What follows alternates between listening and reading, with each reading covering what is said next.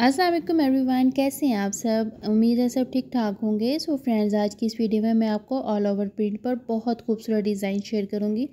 कुछ different style के साथ हम इस गले को क्रिएट करेंगे। तो इसके लिए मैंने जॉइंट लेंस अटैच करनी है और साथ में शटल लेंस अटैच करेंगे।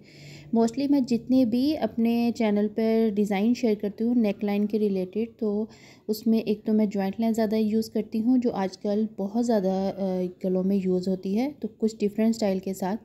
आज की इस वीडियो में मैं आपको शेयर करूँगी। तो चले हम वीडियो को स्टार्ट करते हैं। तो इसके लिए मैंने जॉइंट लेंस लिया और साथ में शटर लेंस वाइट कलर के कंट्रास्ट में और मेरे पास इस तरह के तीन फ्लावर्स पड़े हुए थे। तो उसको भी हम यूज़ करेंगे। अब इसके लिए हमने बुकरम का एक पीस लिया है, ठीक है, जिसकी चौड़ाई है दस इंच है खोल कर बुकरम को और लंबाई मेरे पास थी फिफ्टीन इंच ठीक है। अब इसको हमने बंद वाली साइड अपने साइड पर रखनी है, बुकरम का डबल फोल्ड कर लिया। और पिमाइश रखेंगे तीन बाई फोर ठीक है? लंबाई चौड़ाई का। अब यहाँ से हमने निशानों को आपस में मिला देना है और एक बॉक्स हमारा रेडी हो जाएगा। अब यहाँ से हमने पहले गोल गले की शेप देनी है। पहले आपने हल्का सा ड्रा करना है। अगर शेप अच्छी आ रही हो तो इसको आपने डार्क कर लेना है, ठीक है? अब हमने नीचे स्लिट के लिए नौ इंच का निशान लगाना है, ठीक है? अब यहाँ से आपने डेढ़ इंच का निशान लगाना है। ऊपर वाली साइड से आपने हाफ़ इंच का निशान लगाना है, ठीक है? अब यहाँ से हमने लाइंस ड्रा कर ली। नीचे से भी हमने मिला दिया। अब यहाँ से आपने गोल गले की, गोल गले की नहीं, गोल शेप दे देनी है। ठीक है, शेप आपने देने के बाद अब हमने गोल गले के बाहर वाली साइड से निशान लगाना है हाफ़ इंच का। ठीक है, हाफ़ इंच का निशान लगाने के बाद आपने इन निशानों को आपस में मिला देना है। कोशिश किया करें कि वीडियो को फुल वॉच किया करें, बिना स्किप किए हुए, ठीक है? कोई भी पार्ट अगर आप मिस कर देते हैं, जब आप इस तरह के डिज़ाइन बना रहे होते हैं तो आपसे वो प्रॉपर डिज़ाइन नहीं बन पा रहा होता। मेरे तरीके से, मेरे तरफ़ से कोशिश होती है कि मैं कोई भी पार्ट को कट करके डिज़ाइन आपको ना दिखाऊँ। फुल वॉच किया करें, ठीक है? अच्छा जी, अब यहाँ से हमने हाफ़ इंच का लाइन ड्रॉ कर ली। अब हमने जॉइंट लेंस अटैच करनी है तो इसका आपने अंदर से मयरमेंट कर लेना, दोनों साइडों के किनारी को छोड़ते हुए तो मेरा हाफ़ इंच का बन रहा था। अब इसके बाद हमने जो निशान लगाना है, ये हमारा जॉइंट लेंस का होगा, ठीक है? हाफ़ इंच का बन रहा था, आपका जितना बन रहा होगा, आपने उतने का ही हिसाब लगा कर निशान लगाना है। अब इन निशानों को आपने आपस में मिला देना है, ठीक है? और फिर इसके बाद हमारा जो बाहर वाली साइड की जो आउटलाइन होती है, अब उसका हमने भी हाफ़ इंच का ही निशान लगाना है।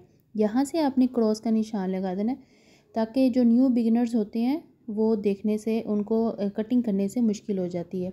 तो ये वाला पार्ट आपने, इस पार्ट पर आपने क्रॉस का निशान लगा देना है और कटिंग करने में भी आसानी होगी।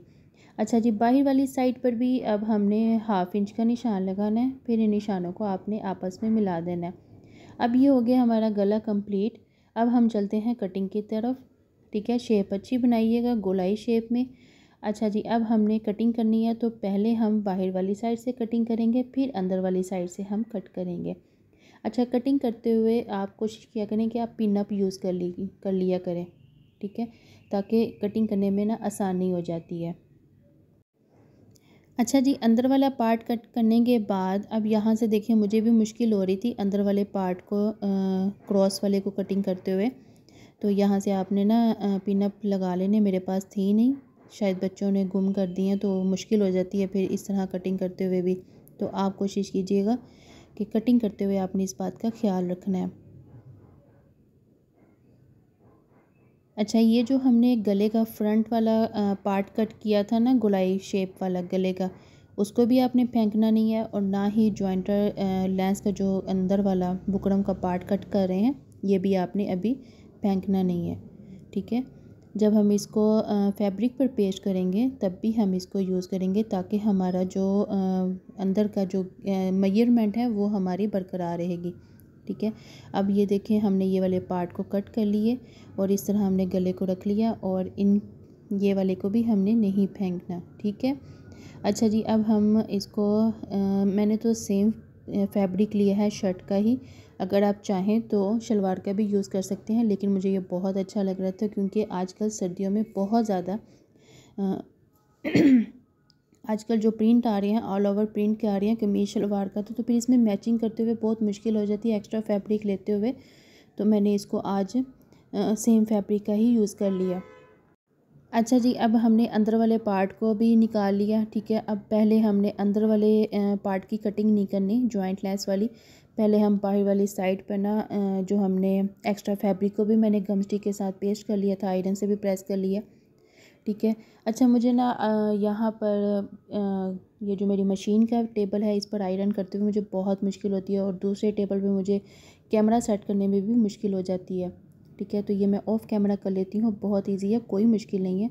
अच्छा जी अब यहाँ से ना हमने बाहर वाली साइड पे बहुत आसान से लेंस को बिल्कुल यहाँ गुलाई शेप में खिंचाव में नहीं लाना। आ, मेरी ये लेंस थी मिल्की वाली तो ये आसानी से गोलाई शेप में भी आगे कोई कटिंग वगैरह नहीं की, ठीक है?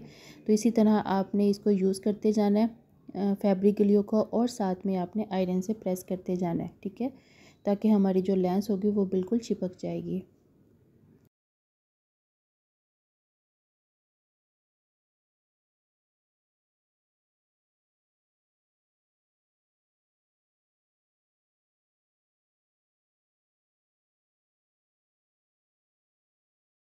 अच्छा जी, डिज़ाइन कंप्लीट करने के बाद एक्स्ट्रा लेंस को कट कर लीजिएगा। अब हम चलते हैं यहाँ से। ये देखिए कितनी फिनिशिंग के साथ हमारी ये लेंस भी अटैच हो गई। ठीक है, अब यहाँ से आपने बिल्कुल कपड़े के सेंटर पर आपने कटिंग करना है, क्योंकि अंदर का जो पार्ट है वो बिल्कुल हाफ़ इंच का पार्ट है। ठीक है, बड़े इख्तियार से इसको कटिंग कीजिएगा।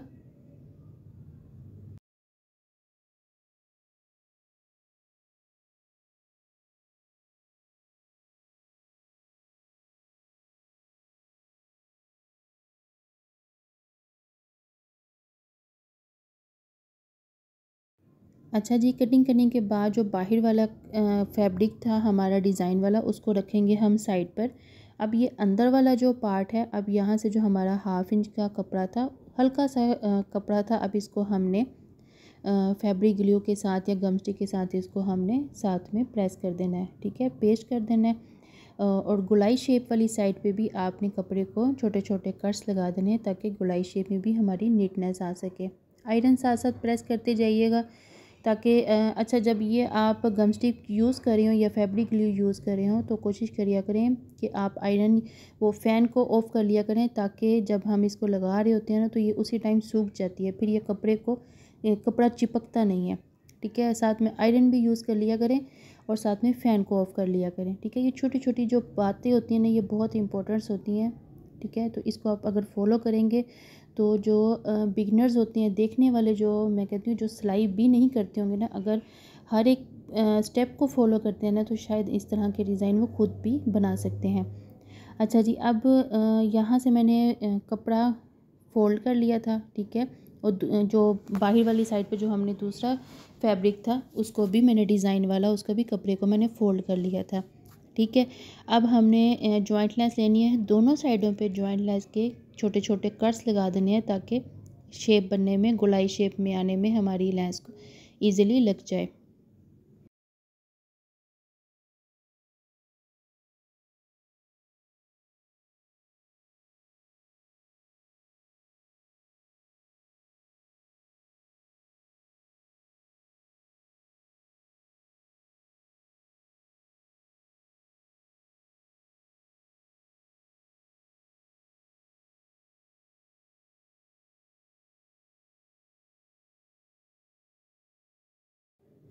अच्छा जी, ये देखिए, यहाँ पर मैंने पूरे गले पर जॉइंट लेस अटैच कर लिए गुलाई शेप में भी देखें। छोटे छोटे कर्स दोनों साइडों पे मैंने लगाए। इजीली साथ साथ आपने आयरन यूज़ करते जाएँगे ना तो बहुत आसानी हो जाती है, कोई मुश्किल पार्ट नहीं होता, ठीक है?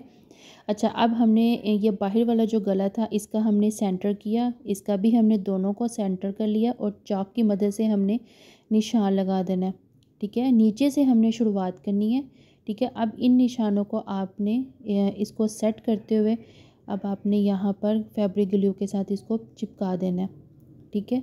स्टार्ट आपने ऊपर से नहीं करना, यहाँ से सेंटर से आपने स्टार्ट करेंगे, ठीक है? अब आपने यहाँ पर बिल्कुल लेंस की किनारे पर फैब्रिक ग्लू लगाना है, फिर इसको आपने चिपका देना है।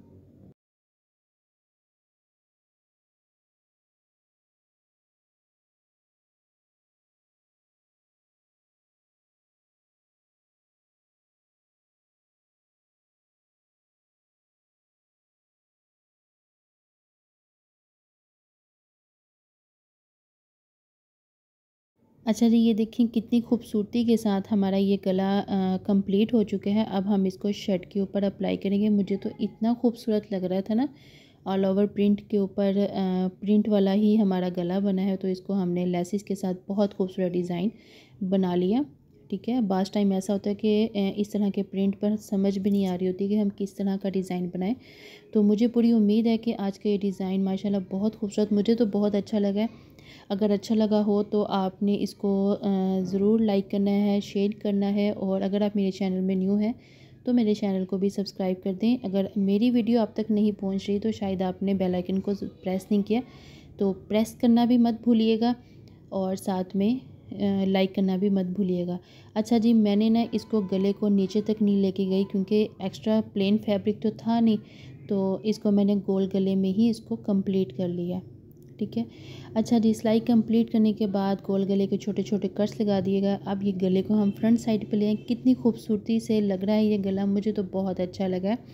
अच्छा अब यहाँ बना मैंने स्किप कर दिया क्योंकि इसकी सारी सिलाई आपने जॉइंटर लेंस की भी और बाहर के किनारे की भी आपने सिलाई कंप्लीट कर लेनी है। अब मेरे पास जो तीन फ्लावर्स थे, अब यहाँ से भी प्लेन लग रहा था तो इसको भी आपने यहाँ पर लेंस के साथ फ्लावर लेंस के साथ इसको एडजस्ट कर लीजिएगा और साथ में पल्स अटैच कर लीजिएगा। बैक साइड पे भी बहुत फिनिशिंग के साथ हमारा ये गला रेडी हुआ है।